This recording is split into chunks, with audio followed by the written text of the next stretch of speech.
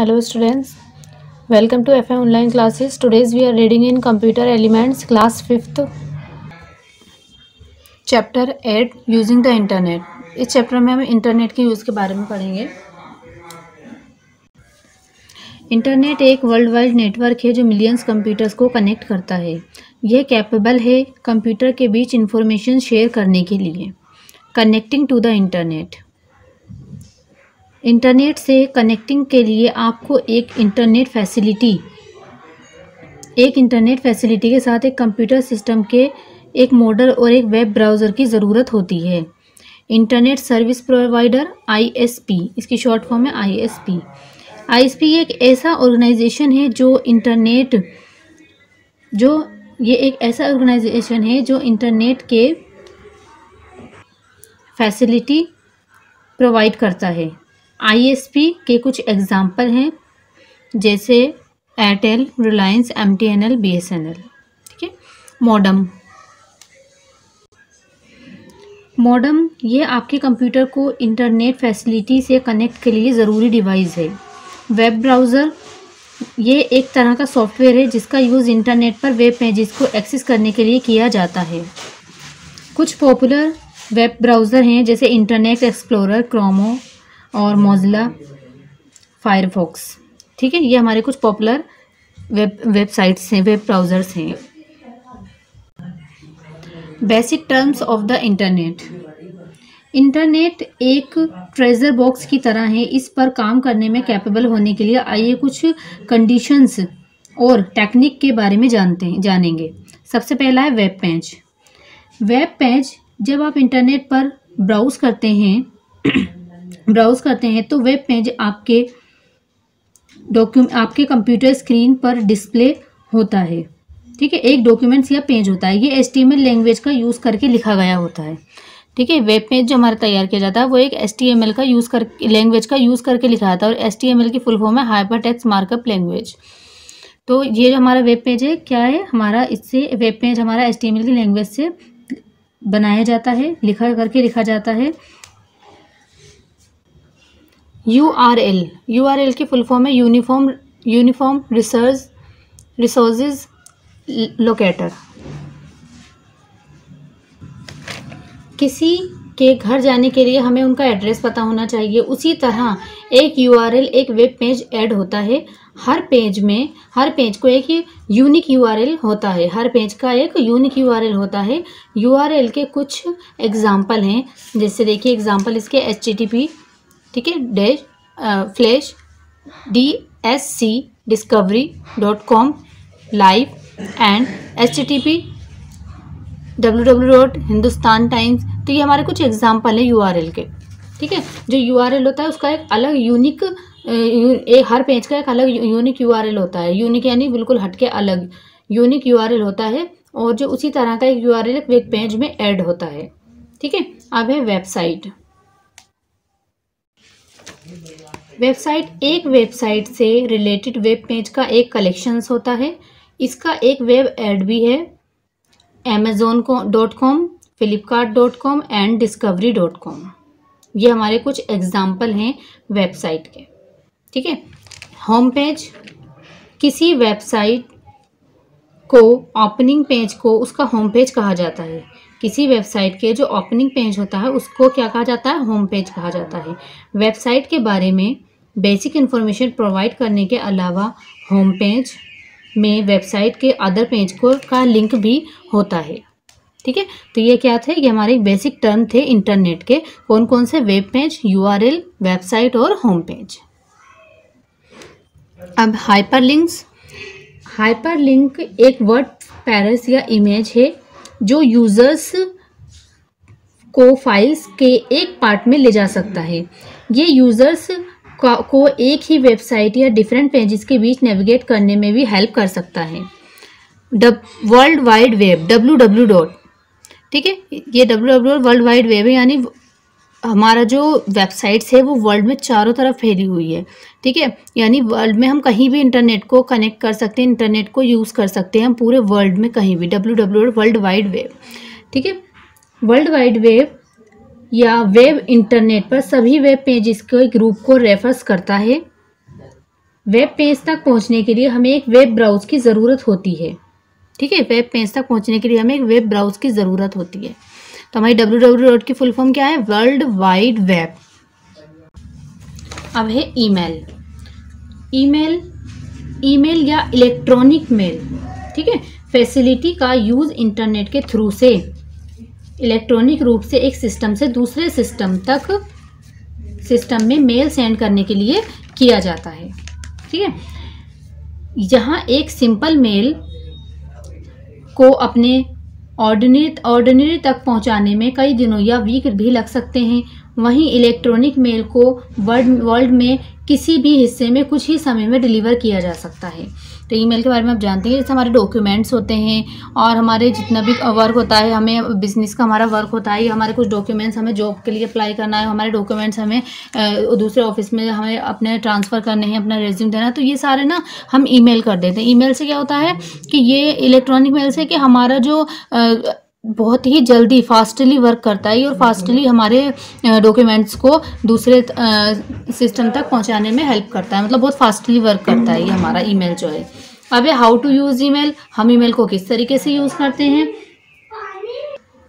हम अपना email account के साथ रजिस्टर रजिस्टर्डिंग हम अपना ईमेल अकाउंट के साथ रजिस्टरिंग कर जो हमारा रजिस्टरिंग है करके उस फैसिलिटी को हमारे जो ईमेल है, उसको हम क्या करने के लिए अकाउंट पाने के लिए, जो हमारा अकाउंट है उसे लेने के लिए किसी एक ईमेल फैसिलिटी प्रोवाइडर से रजिस्टरिंग करके उस फैसिलिटी का यूज़ कर सकते हैं हम।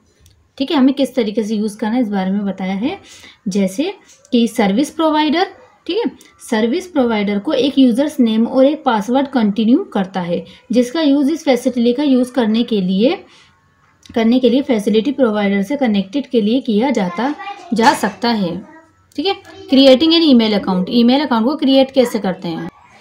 तो क्रिएट करने के देखिए स्टेप्स भी दे रखे हैं कि हम किस तरीके से अपने ईमेल अकाउंट को क्रिएट करते हैं। जैसे पहले बताया कि कई website free email service provide करती हैं। ठीक है? और आप इनमें से किसी भी वेबसाइट पर अपना ईमेल अकाउंट बना सकते हैं। ठीक है?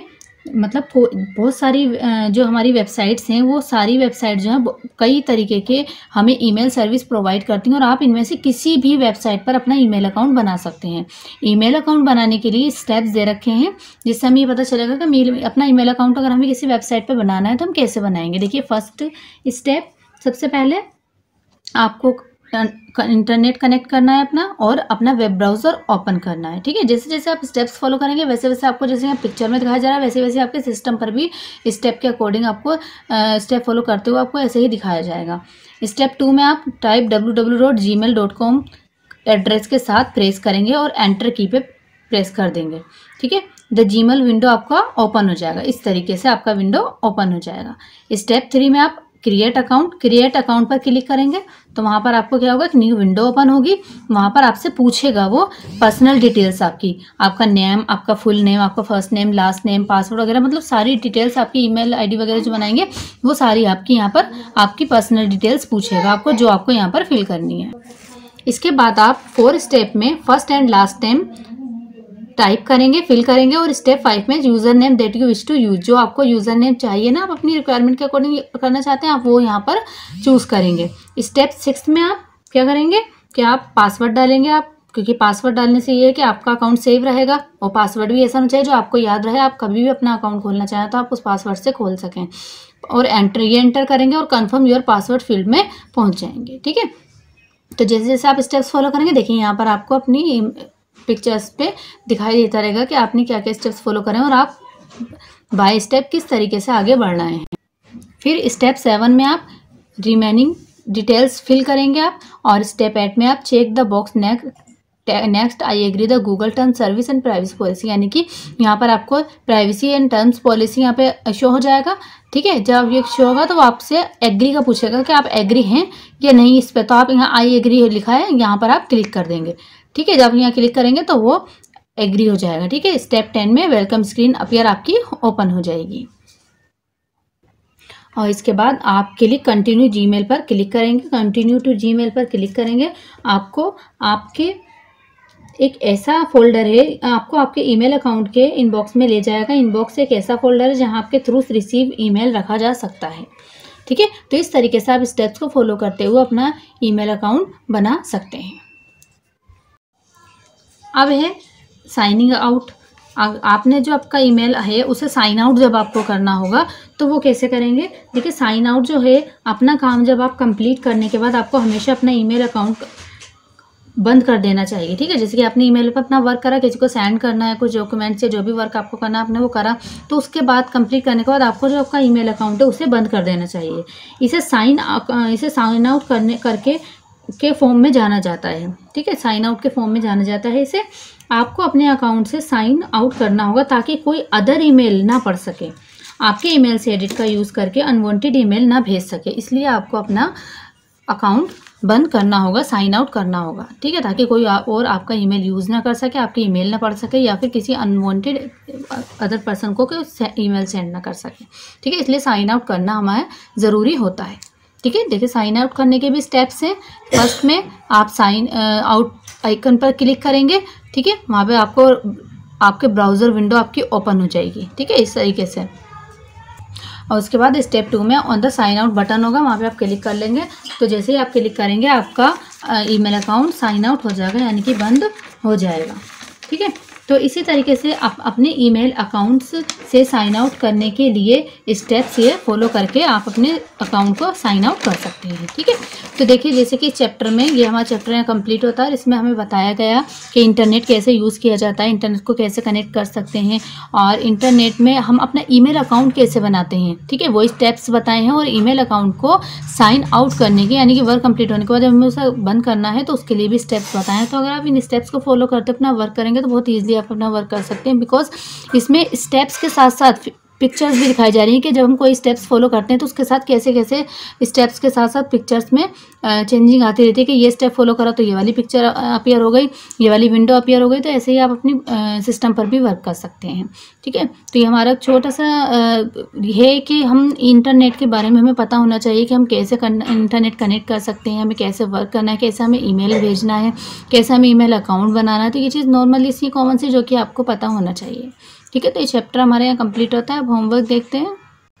होमवर्क में सबसे पहले tick the right correct answer first में आएगा आपका ए मॉडम स्टेप टू वो सॉरी सेकंड में आपका आएगा हाइपर लिंक्स ठीक है? थर्ड और थर्ड में आएगा आपका बी याहू फोर में सी होम पेज और फिफ्थ में सी साइन आउट ठीक है? तो ये टेक द राइट करेक्ट है। ये आपको अपनी नोटबुक में ही नोट करने हैं। अब fill in the blanks fill in the blanks में फ़र्स्ट मैंने यहाँ पे देखिए हेल्प बॉक्स लिखा है यहाँ पे। इस हिंट्स में मैंने नंबर्स डाल दी उन नंबर्स को आप यहाँ पे नम, अपने अपने नंबर्स पे फिल कर लीजिएगा। जैसे कि फ़र्स्ट फ़र्स्ट में आएगा वेब ब्राउज़र सेकंड सेकंड में आएगा वेब और थर्ड थर्ड में आएगा इनबॉक्स फोर्थ फोर्थ में आएगा साइन आउट और फिफ्थ फिफ्थ में आएगा वेबसाइट ठीक है? तो ये हमारे फिलप्स थे जो कि आपको अपनी नोटबुक में ही नोट करने हैं। इसके बाद है write T for true and F for false statement तो फ़र्स्ट में हमारा true second false third true fourth true और फिफ्थ भी ट्रू तो ये हमारे ट्रू फॉल्स थे, ये भी आपको नोटबुक में ही नोट करना अब ये हमारे क्वेश्चन आंसर से आंसर द फ्लोविंग क्वेश्चन तो इसमें फाइव क्वेश्चन है, जिसमें से फोर क्वेश्चन ऑमिट है, कटा हुआ है फ़र्स्ट सेकेंड थर्ड और फिफ्थ क्वेश्चन आपको नोट करने हैं नोटबुक में। ठीक है? तो ये मैं आपको अभी आंसर करा देती हूँ। देखिए फ़र्स्ट है फ़र्स्ट क्वेश्चन है what are the basic requirements of connecting to the internet तो फ़र्स्ट का आंसर है the basic requirements for connected to the internet are the computer client a working internet line and the right modem for that internet line in addition software program such as internet browser email client usenet clients and other special application are needed in order to access the internet in question second question define the following second W dot I S P और web page, इनको define करना है। तो W W dot the world wide web और web refers to the group of all the web page on the internet I S P internet service provider this is an organisation that provides internet service web page a web page is a documents और a page displays on your computer screen when your browser through the internet ठीक है? तो ये second का answer था। Third, what is hyperlink? A hyperlink is a word phrase or image that can take the user from the one part of a life to a file to another. It can also help the user navigate between different pages of the same websites of different websites. Question number 5 for omit hai question. Question number 5 why is important to sign out after completing your work इसका answer है you should always close your email account after completing your work this is known as known as sign out. You must sign out from your account so that no one else can read your email or send unwanted emails using your your email address ठीक है? तो ये हमारे question थे four question थे, जिसमें one first second third और fifth question आपको मैंने कराया है। ये आपको नोटबुक में नोट करना है जो अदर वर्क है वो आपको बुक में ही नोट करना है। ठीक है? तो ये चैप्टर आपका यहाँ होमवर्क के साथ आपके कंप्लीट होता है। इस वीडियो को अच्छे से देखिएगा, समझिएगा कि ईमेल अकाउंट हमारा कैसे बनता है इंटरनेट कैसे कनेक्ट किया जाता है और क्या क्या रिक्वायरमेंट्स हैं उसको कनेक्ट करने की और अपना वर्क अपनी कॉपी में नोटबुक में नोट करिएगा। Thank you